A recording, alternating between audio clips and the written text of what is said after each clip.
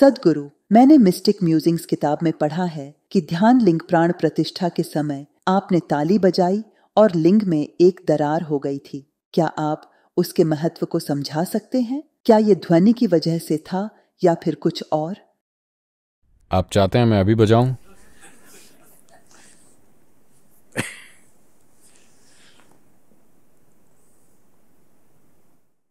तो ये ध्वनि की वजह से नहीं था। पंडित जी जिस ध्वनि की शक्ति की बात कर रहे थे, उसे आधुनिक विज्ञान में हम अनुनाद के रूप में समझाने की कोशिश करते हैं। अगर श्रुति परफेक्ट हो, दो तारों में तो वो स्वाभाविक रूप से टूट जाएँगे। जो पंडित जी कह रहे थे, पुल का टूटना हर स्कूली किताब में एक आदर्श उदाहरण है, कि दो सैनिक चल रहे हैं और वो पुल जो कई टन वज़न ले सकता है, वो ढह जाता है, बस इसलिए क्योंकि दो आदमी एक ताल में चल रहे हैं। ये इसका एक आदर्श उदाहरण है। तो बस ध्वनि से ही किसी भी चीज़ में दरार आ सकती है। बस इतना करने से भी। अगर दो लोग बस इतना करें और अगर ये बिल्कुल सही मेल है तो ये बिल्डिंग गिरा सकता है। तो हम संस्थानों में परफेक्ट संगीतकार पैदा नहीं करते। Okay. वो बिल्डिंग गिरा देंगे। क्योंकि पूरी तरह से ताल में होना एक ऐसी ऊर्जा का निर्माण करता है। जहाँ एक और एक अब दो नहीं बल्कि एक और एक लाखों बन जाता है So, classical music, when two people sing, Jugalbandi is never about two people singing together. शास्त्रीय संगीत में जब दो लोग गाते हैं जुगलबंदी कभी भी एक साथ गाने के बारे में नहीं होता वो हमेशा इस तरह सेट करते हैं क्योंकि जिन संगीतकारों ने ये संगीत रचा उन्हें पता है कि अगर दो संगीतकारों का बिल्कुल परफेक्ट मेल हो जाए तो वो भौतिक ढांचे को नुकसान पहुँचा सकते हैं। लोगों को मुक्ति मिल सकती है, उनका शरीर नष्ट हो सकता है, ये संभव है।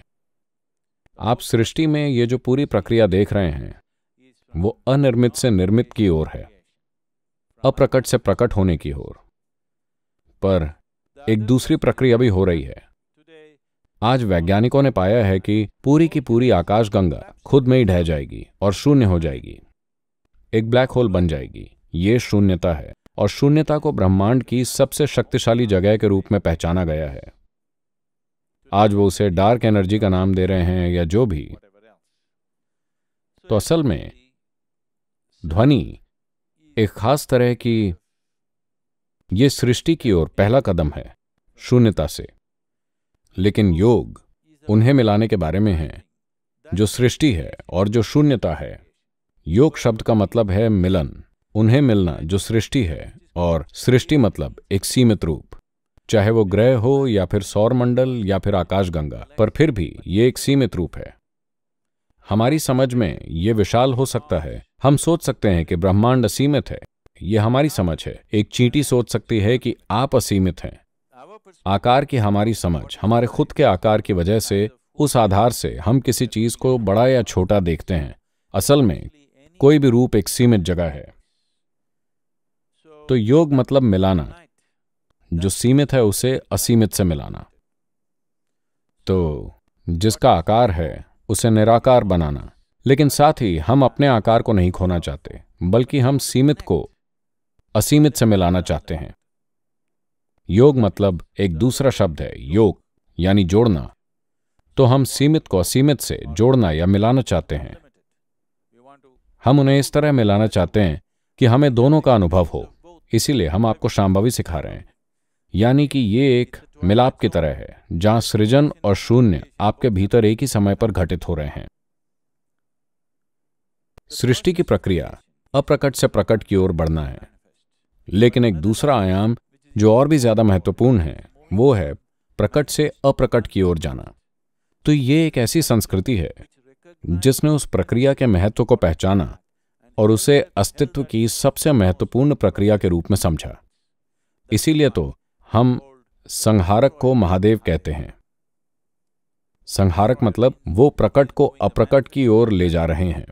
इसलिए उन्हें सबसे ऊपर रखा गया है, क्योंकि यहाँ हमने इस प्रक्रिया को सबसे महत्वपूर्ण समझा है। अप्रकट को प्रकट करना एक सीमित प्रक्रिया है, लेकिन प्रकट को अप्रकट करना एक असीमित प्रक्रिया है। तो यही वजह है कि शिव संहारक होने के बाद भी महादेव कहलाते हैं। तो लिंग में दरार ध्वनि की वजह से नहीं हुई थी।